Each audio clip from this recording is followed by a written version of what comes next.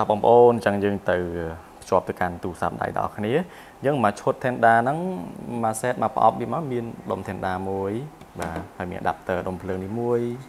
ហើយមានជើង SIM នេះដល់ទៅ2បាទហើយនឹងខ្សែ network មួយទៀត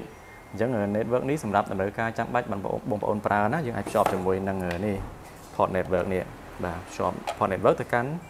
កុំព្យូទ័រឬមួយក៏ក្បាលម៉ាស៊ីនកាមេរ៉ារបស់យើងណាបាទហើយកន្លែងនេះបងប្អូនមើលកន្លែងនេះជាដុំដុត កន្លែង port adapter យើងបាទដោតភ្លើងភ្លឹបមក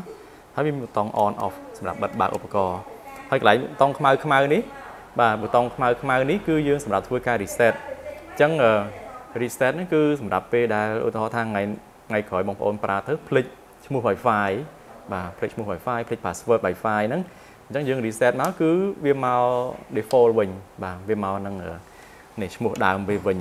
បាទអញ្ចឹងយកទៅងាយស្រួលប្រើបងប្អូនបើសិនជាអត់ទៅការ config អីទេមើលតាខាងក្រោយឧបករណ៍នេះគឺមានឈ្មោះ Wi-Fi បាទដាក់ Tenda ហ្នឹងហើយលេខកូដហ្នឹងមកអញ្ចឹងបងប្អូនចុចពចលើឈ្មោះហ្នឹង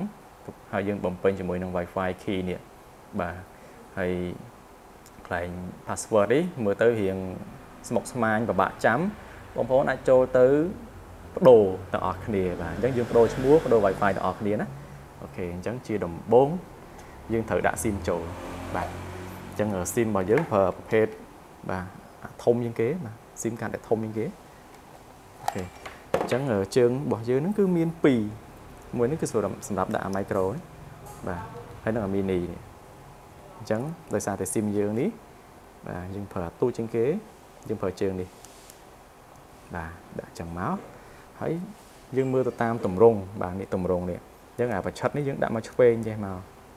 អូខេអញ្ចឹងបងប្អូនដាក់ឲ្យត្រូវណាកុំឲ្យដាក់បច្រាស់ខ្លាច់បាក់ជើងស៊ីមហ្នឹងពិបាកអញ្ចឹងបងប្អូនដាក់ឲ្យត្រូវតាមប្រឆិតហ្នឹងមកដាក់ហួញចូលលឺភ្លឹបអញ្ចឹងមកហ្នឹងចូលអញ្ចឹងចង់ដកឲ្យវិញសកតប៉ុចមកទាញមកបាទអញ្ចឹងដាក់ចូលវាលឺប៉ាក់អញ្ចឹងមកអូខេ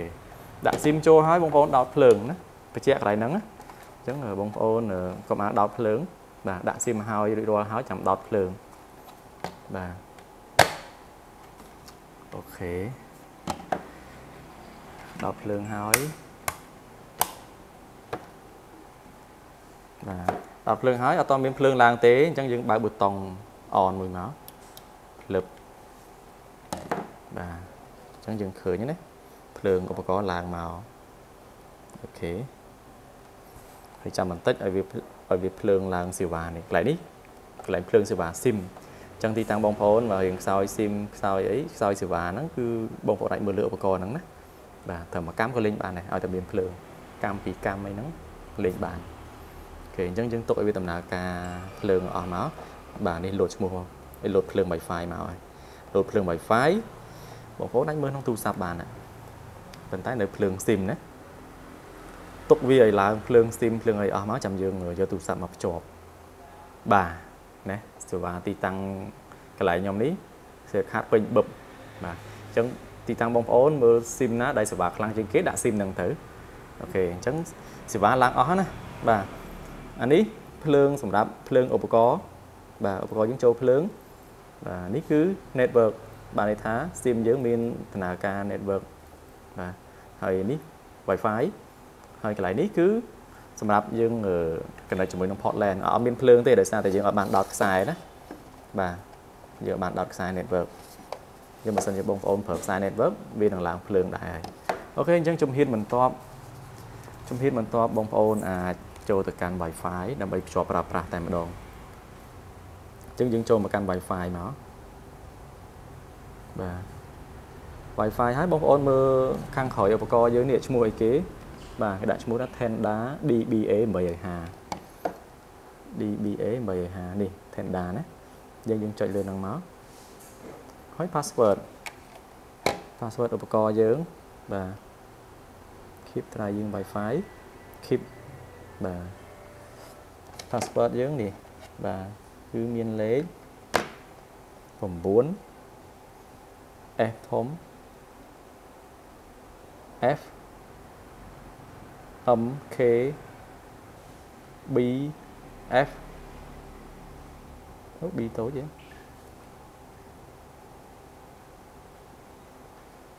B តូចសុំម្ដងទៀតណា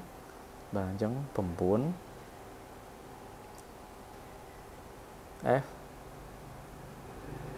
M K B តូច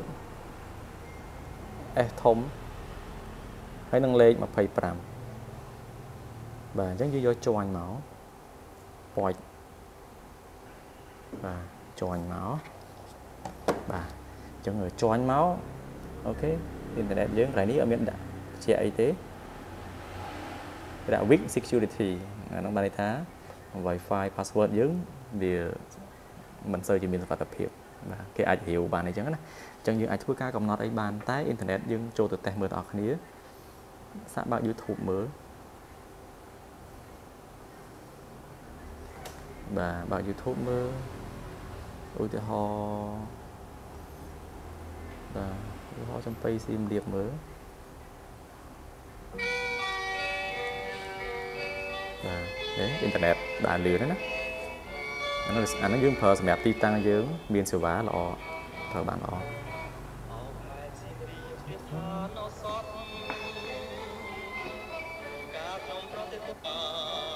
បាទអញ្ចឹងអ៊ីនធឺណិតយើងដើរអ៊ីនធឺណិតយើងដើរហើយអញ្ចឹងបងប្អូនអាចប្រើប្រាស់បានហើយបាទគ្រាន់តែជំហានបន្ទាប់បើសិនជាបងប្អូនចង់ដូរឈ្មោះ password ឬ Wi-Fi បាទយើងអាច access ចូលមកកាន់ទី1វាមានរបៀបចូលទៅណាបងប្អូនអាចចូលទៅយើងទីបងយើង connect Wi-Fi នឹងឲ្យមកហើយចូលទៅកាន់ tendawifi.com បាទយើងយើងចូលក្នុង Safari Safari វាមាន Tenda Tenda Wi-Fi tendawifi.com ហើយ go បាទអញ្ចឹងយើងយកពាក្យ start មកយើង next មកបាទ next តទៀតមក next តមកកន្លែងនេះដាក់ឈ្មោះ tenda អញ្ចឹងយើងអាចបដូរមកកាន់ឧទាហរណ៍ថា my home អញ្ចឹងទៅ my home ហើយ password នេះយើងអាចដាក់ឧទាហរណ៍1 2 3 4 5 6 7 8 9ហើយអក្សរ A តូចពីក្រោយមកមួយក៏1ដល់9តែម្ដងក៏បាន ហើយកន្លែងនេះយើង sin the login password wifi បាទអញ្ចឹងតើកាលណាយើងយក sin បានន័យថាពេលដែលយើង log ចូល wifi របស់យើងនេះ គឺយើងប្រើឈ្មោះដូច wifi ណា log ចូលឧបករណ៍ទៀតបាទយើងយក net មក my home okay អញ្ចឹងយើងចូលទៅកាន់ setting ហើយទីទៀតវានឹងដាច់ Wi-Fi ចាស់របស់យើងនឹងដាច់ណាហើយយើងនឹងទទួលបានជាមួយនឹង Wi-Fi ឈ្មោះថ្មីមួយ ដែលឈ្មោះថា My Home បាទអញ្ចឹងរងចាំឲ្យដំណើរការបន្តិចទៅ អាចបិទបើក Wi-Fi មួយមកបាទ refresh Wi-Fi មួយមកចឹងបងប្អូនអាចមើលនៅលើនេះនៅលើឧបករណ៍ហ្នឹងណាពេលណាដែលវាឡើងក្រហមវាដូរពណ៌ក្រៅពីពណ៌បៃតងហ្នឹងខ្លាចអ៊ីនធឺណិតស៊ីមយើងវាអស់លុយបាទហ្នឹងណាវាឡើងក្រហមហើយនេះអូខេអញ្ចឹងយើងយកមកកាន់ My Home ហ្នឹងយើងទទួលបានឈ្មោះថ្មីណា My Home មិញយើងដាក់ password ប្រហែលដែរ password បាទ incorrect password for my home បាទដោយសារតែវាអឺដំបូងនោះយើងដាក់ password ផ្សេងឥឡូវយើងដាក់ password my home មក1 2 3 4 5 6 7 8 9ហើយយកពាក្យជាន់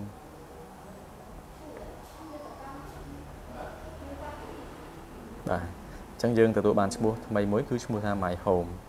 បាទអញ្ចឹងតេស្តអ៊ីនធឺណិតមើលគឺដើរធម្មតាទេណា okay អញ្ចឹងរបៀបភ្ជាប់ជាមួយនឹងប្រភេទអត់អង្តែនឬក៏មានអង្តែនហ្នឹងបាទគឺតែមួយគ្នារបៀបភ្ជាប់ណា okay អញ្ចឹងបងប្អូនភ្ជាប់សាកមើលទៅ មានតម្រូវការចម្ងល់អីបន្ថែម chat មកក្រុមការងារយើងថែមទៀតបានអរគុណសម្រាប់ការតាមដានទស្សនាវីដេអូ